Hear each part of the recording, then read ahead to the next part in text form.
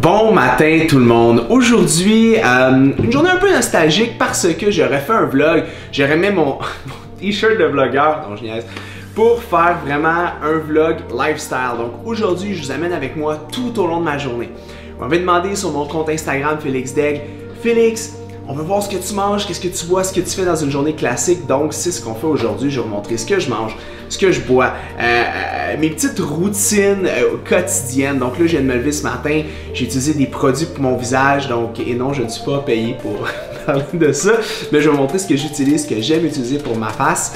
Et je vais vous montrer aussi mes préparations alimentaires, un peu ma routine pour peut-être vous inspirer à faire de même ou même peut-être donner des idées au courant de votre journée. Donc, suivez-moi. On va s'amuser aujourd'hui ensemble. Et on commence le matin avec un petit café bio organique de Paul Newman. Honnêtement, commencer le matin avec un café pour moi, c'est vraiment la meilleure des choses à faire parce que ça me permet de pouvoir mieux concentrer par la suite. Et vous pouvez voir aussi ma petite tasse qui vient de qui vient d'Alcatraz quand je suis allé euh, passer euh, un petit mois euh, à Californie. Donc Alcatraz was never no good for nobody. There you go. Huile d'avocat parce que tu peux cuire ça à haute intensité. Après ça, jambon du breton, bio, toujours bio. Euh, quand vous prenez de la viande, euh, surtout de la viande qui est plus grasse, allez-y toujours avec quelque chose qui est bio. Pourquoi? Parce que toutes les toxines se retrouvent dans le gras de la viande. Donc, euh, c'est ce qu'on fait. Par la suite, les œufs et du végépaté. Ça, c'est mon plaisir. À tous les matins, je tiens Mordicus, mon végépaté sans gluten. C'est comme, oh, un incontournable.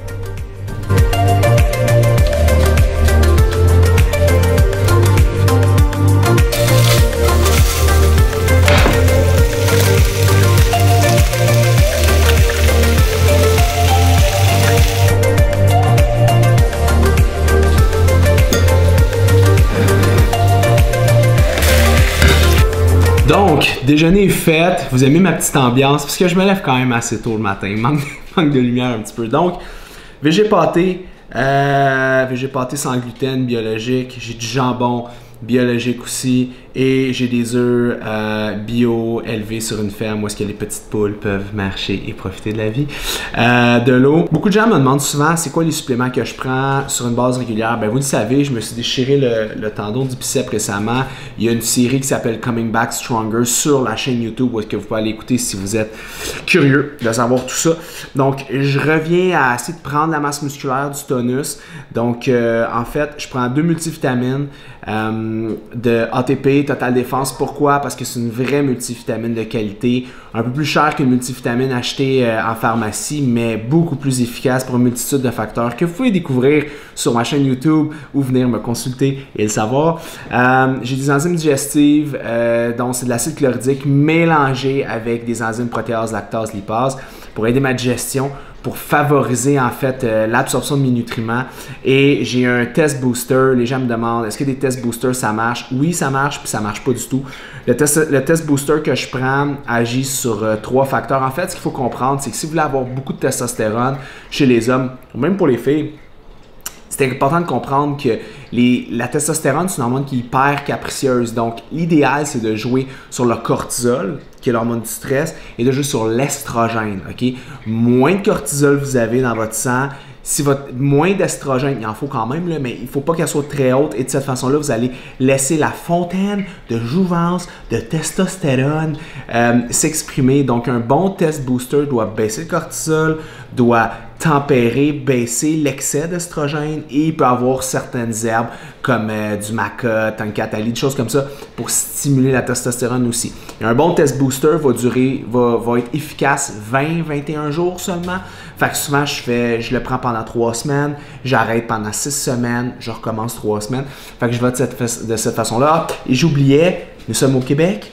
Donc, euh, de la vitamine D, pourquoi? Parce que euh, le soleil qui a un contact sur la peau avec le cholestérol, ben, fait, fait une production euh, de vitamine D dans le sang c'est hyper important. C'est une vitamine qui agit comme une hormone. Plus de force, meilleure perte de gras, meilleur swing, mood swing, donc vraiment une meilleure énergie totale. Et je le prends. Le dosage, on s'entend que c'est 3000, 3000 unités par 1000, par 100 livres de masse. Donc, exemple, une femme de 100 livres, on parle d'environ 3000 unités et vous faites le calcul pour monter. Là-dessus, je vous souhaite un bon déjeuner avant que ça soit frais et fret et on se revoit très bientôt.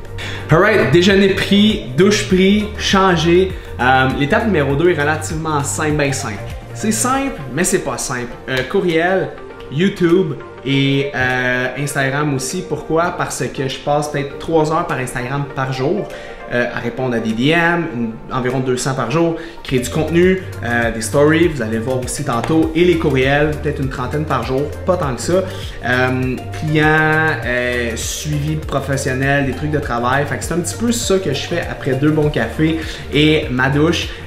environ peut-être 45 minutes, une heure, on va faire de la création de contenu. Sam vient d'arriver, donc avec Sam, on va s'asseoir pour créer du contenu, ce qui s'en vient pour FD Fitness, les projets pour cet été, qu'est-ce que je vous prépare qu'est-ce que lui vous prépare aussi, parce qu'il y a des grandes choses qui vont s'en venir comme à l'habitude, mais il faut faire un brainstorm. Vous le voyez peut-être pas en, arrière de la caméra, mais il y a beaucoup, beaucoup, beaucoup de travail qui est fait pour vous amener un produit qui est de qualité et surtout un produit qui est à jour et ce, à tous les mois. Nous, on se revoit juste après le brainstorm.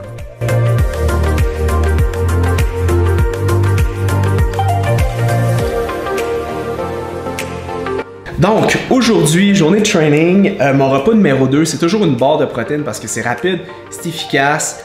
C'est rapide, c'est efficace. Deux barres que je prends. Euh, celle de Redcon One et les Good Fat. Cette barre-là, les journées que je m'entraîne parce qu'il y a un peu plus de glucides, un peu plus de gras. Ok, c'est pas la barre la plus legit sur la terre, mais honnêtement, c'est excellent. Et la Good Fat, un peu plus keto, je les prends les journées que je m'entraîne pas parce que n'oubliez pas, vous devez mériter vos glucides plus t'en manges, plus tu dois t'entraîner, moins que t'en manges, moins que tu t'entraînes.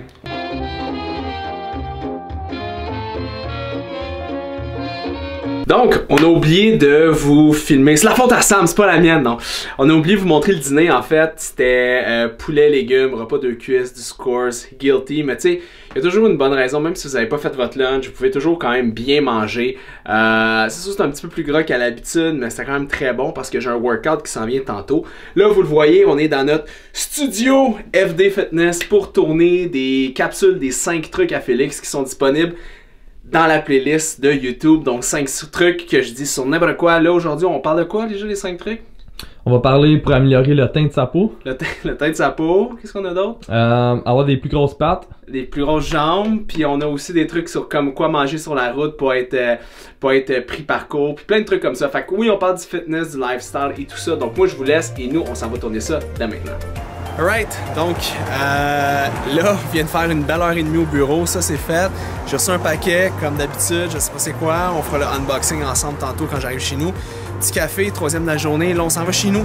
Pré-workout, préparation de gym, gym, je vais vous donner l'ABC de comment contracter un épaule, un dos et surtout comment faire des quads.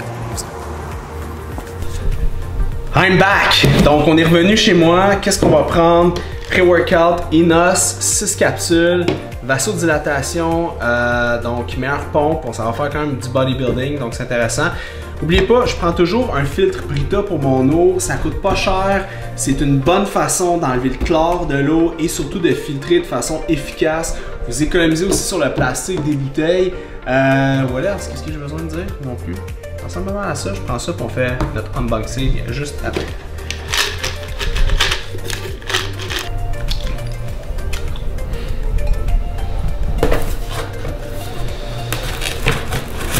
J'ai ça quand c'est des boîtes que t'as aucune idée. Qu'est-ce qu'il y a dedans?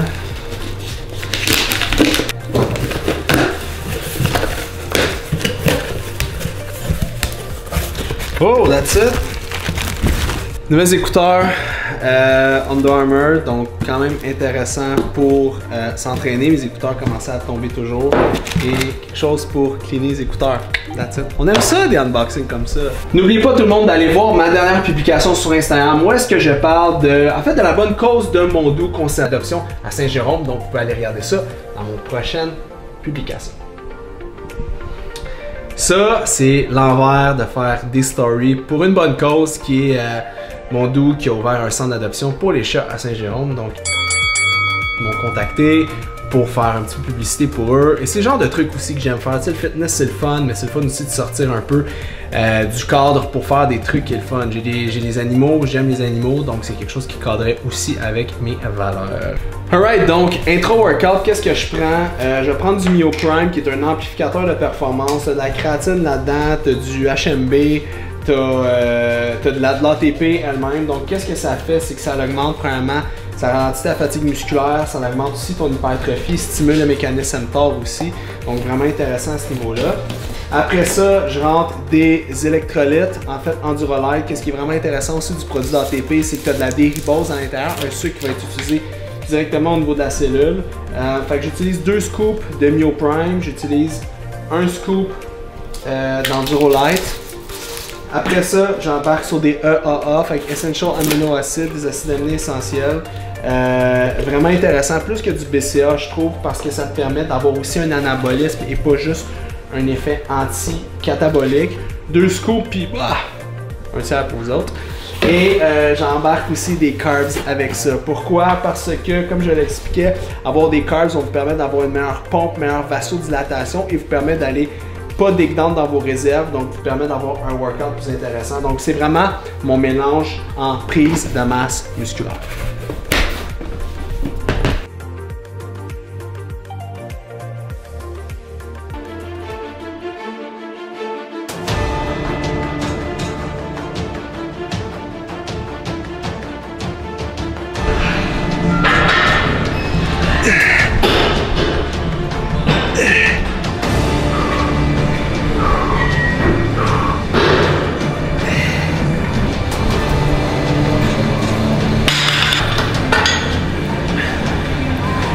Exercice, on commence avec une activation.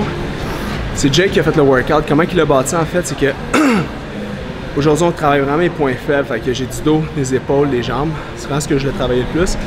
On commence avec une activation, donc 8 à 10 reps, 2 secondes d'ISO en arrière. Puis comme vous voyez, je fais des amplitudes qui sont réduites. Je fais vraiment quand le muscle est actif, parce qu'on s'entend que quand je suis loin comme ça, il se passe moins quelque chose à part que mon muscle est étiré. Donc ce que je fais, je fais une rétraction de ma plate, je tire, je garde ma tension tout le temps. Comme ça, je m'assure tout le temps que le haut de mon dos, mon upper back, est en tension. Fait qu'il y a une activation qui se fait. Dans le reste de mes mouvements, je vais pouvoir vraiment cibler où est-ce que je vais travailler de cette façon-là.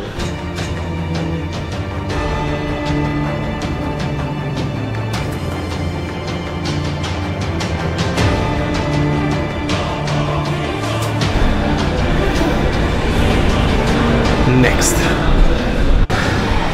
Deadlift, quand tu arrêtes au-dessus des genoux, ça permet d'aller chercher beaucoup plus ton haut du dos. Ton dos, surtout avec une prise clean, je suis large. Fait que lat, rhomboïde, trapèze, bas du dos un peu, hamstring, pas vraiment sollicité. Je pense, je peux pas prendre super lourd à cause que mon bras, j'ai pas été chercher encore ma grip. Si vous ne savez pas, peut-être, je me suis déchiré le tendon du bicep au niveau distal. Fait que ma grip est pas celle qu'elle est.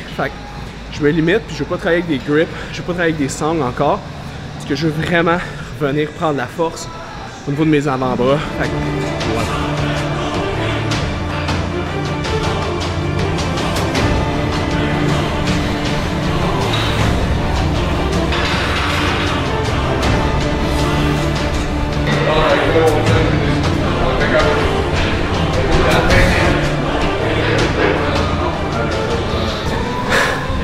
Prochain exercice, lat pull down.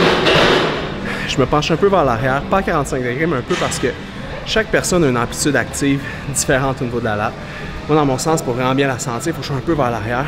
Vous voyez, au début, je fais un abaissement de mon omoplate contraire à l'angle de ma corde. Pour vraiment venir activer le plus possible mes, euh, mon rang dorsal. Et quand je descends, j'ai vraiment rentré le coude vers l'intérieur le plus bas possible. Vous avez remarqué, je ne remonte pas jusqu'en haut parce que nous, on peut bénéficier, on en parlait avec Sam, l'effet du stretch au niveau du muscle. Mais plus souvent, contrairement, en haut du mouvement, c'est le bicep qui va prendre la tension. Fait que quand je force au niveau de ma latte, je relâche, je me concentre vraiment sur ma latte, puis quand je la sens moins, que je suis allé un pouce trop haut, je redescends pour le squeezer. Fait que tu, rends, tu rapetisses les amplitudes actives, ça permet de déchirer plus de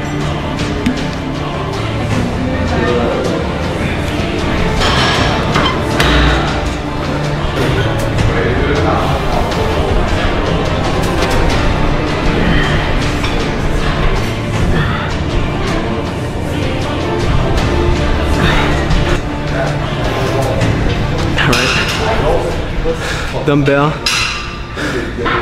chest supported row, chest supported dumbbell press, excusez. L'important de ça, c'est qu'on est un peu vers l'avant. Ça permet d'avoir la partie médiale de l'avant vers, vers l'avant, manque de son cerveau. Ce qui est important, c'est que, vous voyez, je descends pas jusqu'en bas parce qu'en bas du mouvement, les premiers 20 degrés, il se passe rien.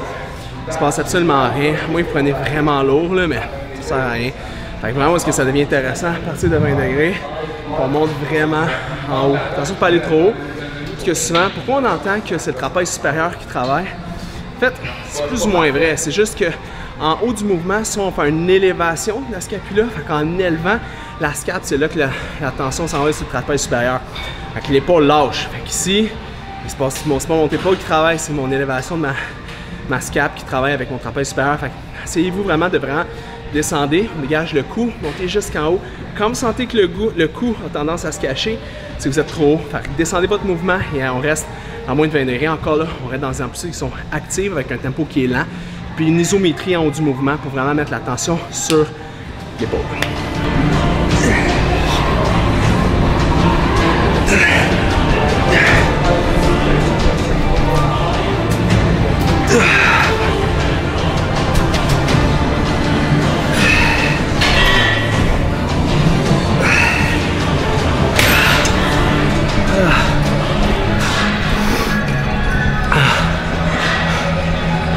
On garde le même principe pour les jambes, 10 plus max. Euh, rest pause, fait le plus que tu es capable de faire, de lourd, pour 10 reps. Tempo contrôlé avec une seconde d'isométrie en haut, est-ce que le muscle est le plus rapproché? La raison pourquoi, même si on fait des jambes, je sais pas un exercice comme exemple le squat, le deadlift, c'est que c'est plus réarticulaire. J'ai déjà une journée, grosse journée de jambes par semaine. le but, c'est juste d'y retoucher une deuxième fois pour venir restimuler, recréer du dommage sans pour autant créer un trop gros dommage. C'est la technique à utiliser. Tu peux y retoucher à tes jambes deux fois ou même trois fois dans ta semaine, mais il faut que ton volume soit lié en conséquence. Ça fait du sens? That's Et voilà, training est fini. Euh, gros workout quand même aujourd'hui. J'étais avec Banjo, on chill un peu. Euh, avant que tout ça soit fini. Euh, le vlog, ça va être ici parce que ce soir, j'ai un souper, je vais avoir un show à l'Orchestre Symphonique de Montréal, donc ça va être relativement cool. Je vais avoir aussi un souper. Post-workout, ce que je vais manger, je vais manger un club sandwich sans gluten avec du poulet à l'intérieur pour aller chercher des carbs et des protéines. D'habitude, je pourrais prendre un shake, mais là, et je sais qu'il va falloir que j'ai quelque chose qui va me soutenir tout au long de mon show là-bas. Donc voici ce qu'on va faire. Comme vous avez vu, vous avez vu le trois quarts d'une journée bien remplie d'un entrepreneur, d'un entraîneur, bref, tout ce que vous voulez dire. Et euh, j'espère que vous avez aimé ce vlog spécial hors édition, comeback, une journée dans ma vie. Bref, pour montrer un petit peu l'envers du décor, du décor, à quoi ça ressemble. L'autre côté, vous avez eu des tips en masse nutritionnelle, des tips d'entraînement. Et moi, je vous souhaite une heureuse journée et à la prochaine, guys. Mm-hmm.